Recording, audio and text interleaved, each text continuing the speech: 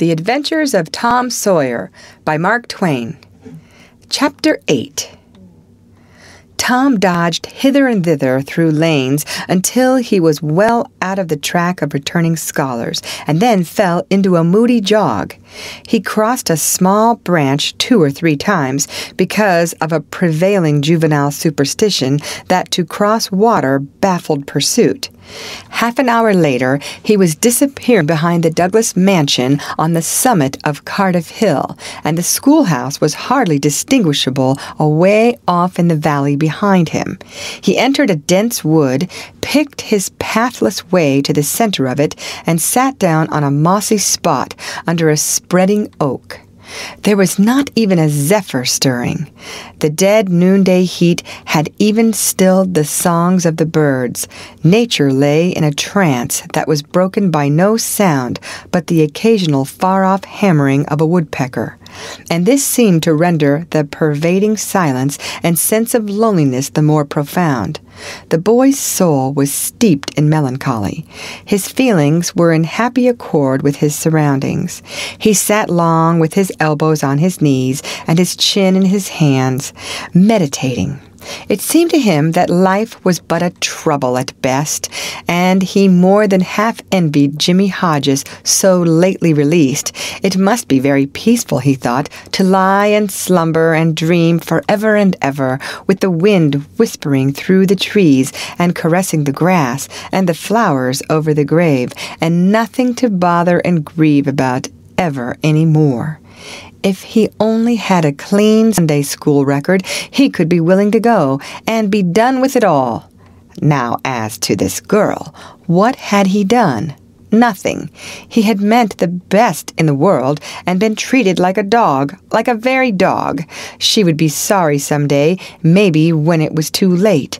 Ah, if he could only die temporarily. But the elastic heart of youth cannot be compressed into one constrained shape long at a time.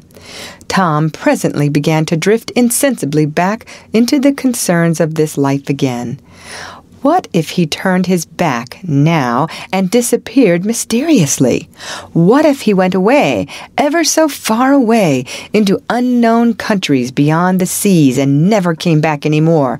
How would she feel then? The idea of being a clown recurred to him now, only to fill him with disgust, for frivolity and jokes and spotted tights were an offense when they intruded themselves upon a spirit that was exalted into the vague august realm of the romantic. No, he would be a soldier and return after long years, all war worn and illustrious. No, better still, he would join the Indians and hunt buffaloes and go on the warpath in the mountain ranges and the trackless great plains of the far west, and away in the future come back a great chief, bristling with feathers, hideous with paint, and prance into Sunday school some drowsy summer morning with a blood curdling war whoop and sear the eyeballs of all his companions with unappeasable envy. But no, there was something gaudier even than this. He would be a pirate. That was it. Now his future lay plain before him and glowing with unimaginable splendor. How his name would fill the world and make people shudder.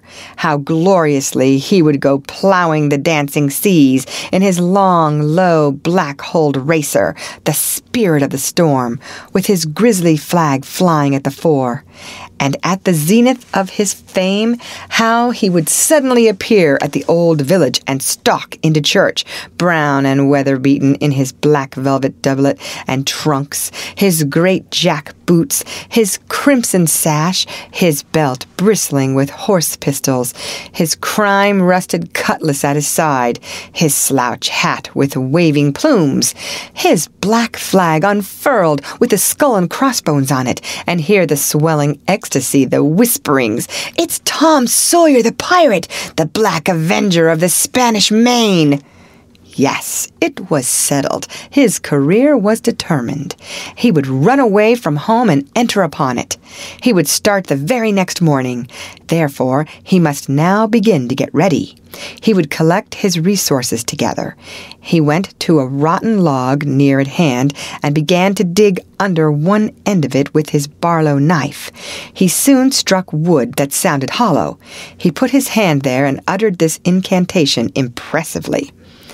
What hasn't come here, come. What's here, stay here. Then he scraped away the dirt and exposed a pine shingle. He took it up and disclosed a shapely little treasure house whose bottom and sides were of shingles. In it lay a marble. Tom's astonishment was boundless. He scratched his head with a perplexed air and said, Well, that beats anything. Then he tossed the marble away pettishly and stood cogitating. The truth was that a superstition of his had failed here, which he and all his comrades had always looked upon as infallible. If you buried a marble with certain necessary incantations and left it alone a fortnight, and then opened the place with the incantation he had just used, you would find that all the marbles you had ever lost had gathered themselves together there, meantime, no matter how widely they had been separated. But now this thing had actually and unquestionably failed. Tom's whole structure of faith was shaken to its foundations. He had many a time heard of this thing succeeding, but never of its failing before. It did not occur to him that he had tried it several times before himself, but could never find the hiding places afterward. He puzzled over the matter some time and finally decided that some witch had interfered and broken the charm. He thought he would satisfy himself on that point, so he searched around till he found a small shady spot with a little funnel shaped depression in it. He laid himself down and put his mouth close to this depression and called, Doodlebug, Doodlebug, tell me what I want to know. Doodlebug, Doodlebug, tell me what I want to know. The sand began to work, and presently a small black bug appeared for a second and then darted under again in a fright. He doesn't tell! So it was a witch that done it! I just knowed it! He well knew the futility of trying to contend against witches, so he gave up discouraged. But it occurred to him that he might as well have the marble he had just thrown away, and therefore he went and made a patient search for it. But he could not find it. Now he went back to his treasure house and carefully placed himself just as he had been standing when he tossed the marble away. Then he took another marble from his pocket and tossed it in the same way, saying, Brother, go find your brother. He watched where it stopped and went there and looked, but it must have fallen short or gone too far, so he tried twice more. The last repetition was successful. The two marbles lay within a foot of each other. Just here, the blast of a toy tin trumpet came faintly down the green aisles of the forest. Tom flung off his jacket and trousers, turned a suspender into a belt, raked away some brush behind the rotten log, disclosing a rude bow and arrow, a lath sword, and a tin trumpet, and in a moment had seized these things and bounded away, bare-legged, with fluttering shirt. He presently halted under a great elm, blew an answering blast, and then began to tiptoe and look warily out, this way and that. He said cautiously to an imaginary company, Hold, my merry men! Keep hid till I blow! Now appeared Joe Harper, as airily clad and elaborately armed as Tom. Tom called, Hold! Who comes here into Sherwood Forest without my pass? Guy of Gisborne wants no man's pass. Who art thou that, that, dares to hold such language? said Tom, prompting, for they talked by the book from memory. Who art thou that dares to hold such language? I, indeed, I am Robin Hood, as thy caitiff carcass soon shall know. Then art thou indeed that famous outlaw? Right gladly will I dispute with thee the passes of the merry wood. Have at thee! they took their lath swords, dumped their other traps on the ground, struck a fencing attitude foot to foot, and began a grave, careful combat, two up and two down. Presently Tom said, Now, if you've got the hang, go it lively. So they went it lively, panting and perspiring with the work. By and by Tom shouted, Fall! Fall! Why don't you fall?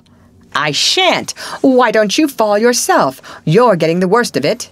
Why, that ain't anything. I can't fall. That ain't the way it is in the book. The book says, Then with one boke he slew poor Guy of Gisborne.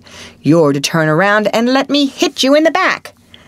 There was no getting around the authorities, so Joe turned, received the whack, and fell. Now, said Joe, getting up, you got to let me kill you. That's fair. Why, I can't do that. It ain't in the book. Well, it's blamed mean, that's all. Well, say, Joe, you can be Friar Tuck or Much the Miller's son and lamb me with a quarterstaff. Or I'll be the sheriff of Nottingham, and you be Robin Hood a little while and kill me. This was satisfactory, and so these adventures were carried out. Then Tom became Robin Hood again, and was allowed by the treacherous nun to bleed his strength away through his neglected wound, and at last Joe, representing a whole tribe of weeping outlaws, dragged him sadly forth, gave his bow into his feeble hands, and Tom said, Where this arrow falls, there bury poor Robin Hood under the greenwood tree. Then he shot the arrow and fell back, and would have died, but lit on a nettle and sprang up too gaily for a corpse. The boys dressed themselves, hid their accoutrements, and went off grieving that there were no outlaws any more, and wondering what modern civilization could claim to have done to compensate for their loss. They said they would rather be outlaws a year in Sherwood Forest than President of the United States forever. End of chapter.